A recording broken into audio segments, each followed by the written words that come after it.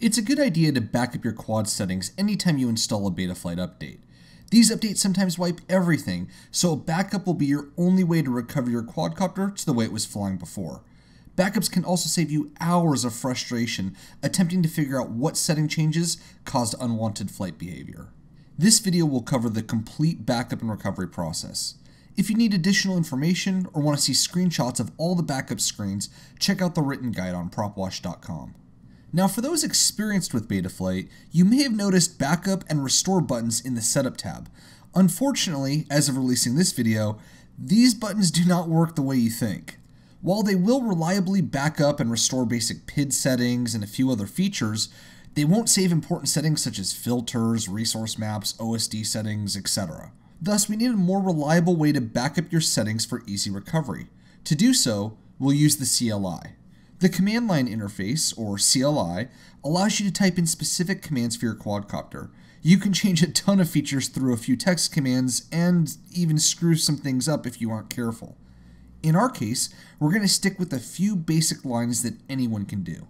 First, go to the CLI tab on Betaflight. Here you'll see a black console window with the Betaflight logo and an entry line for text. The text entry line is where we'll do the majority of our work. After typing a command, press enter to execute it.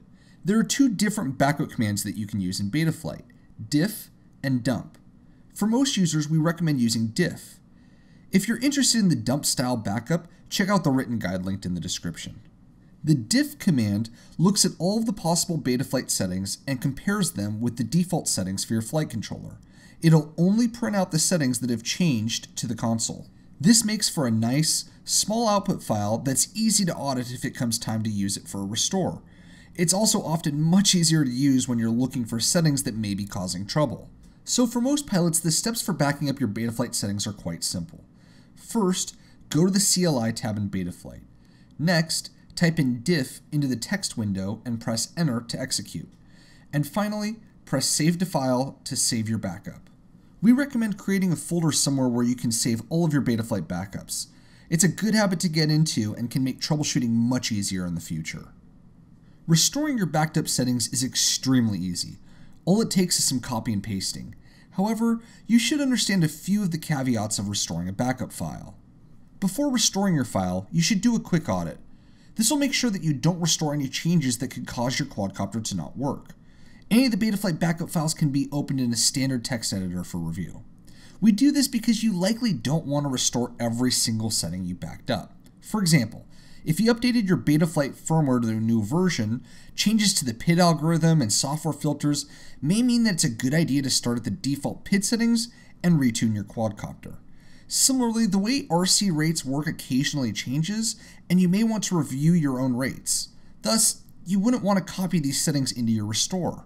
On the other hand, if you're restoring Betaflight to the exact configuration it was previously working in, you should just do a blanket restore of all settings. Just make sure you're using the same version of Betaflight. The version number can be found at the top of your backup file. So to audit which features you restore, go through the backup file using a text editor. Take a good look at each feature and try to figure out how or why it was changed. If you're unsure of a setting name, a quick Google search can help. If this doesn't work, the safest bet is returning the setting to the default value. As we mentioned, consider removing any changes to the PID or filter settings when doing a restore on a new version of Betaflight. Chances are you're going to need to retune your quadcopter. You might as well start somewhere that worked well for the developers. Once you've decided what settings you want to restore, just paste them directly from the backup file into the CLI text box. You can paste multiple lines at once. Next, hit enter to execute all the commands. Finally, type in save and press enter to apply the settings to your flight controller. This will automatically reboot the flight controller and send you back to the home screen. Browse through the various setup tabs and verify that all your settings were restored and you're all set. Oh, and don't forget to create new backup when you're all finished.